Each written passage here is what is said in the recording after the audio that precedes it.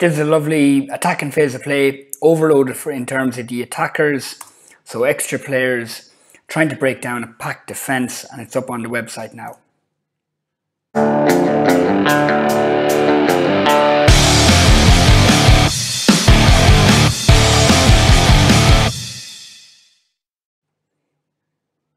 Full width of the pitch, 50 metres long. Extra players on the attacking side would have to break down a 10 man defensive setup.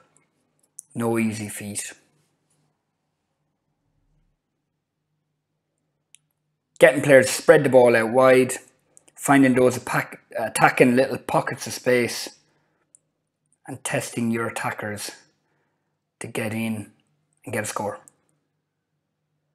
Lots of progressions on the website I run through a whole range of issues for the defensive point of view as well, and check that out now on deelysportscience.com.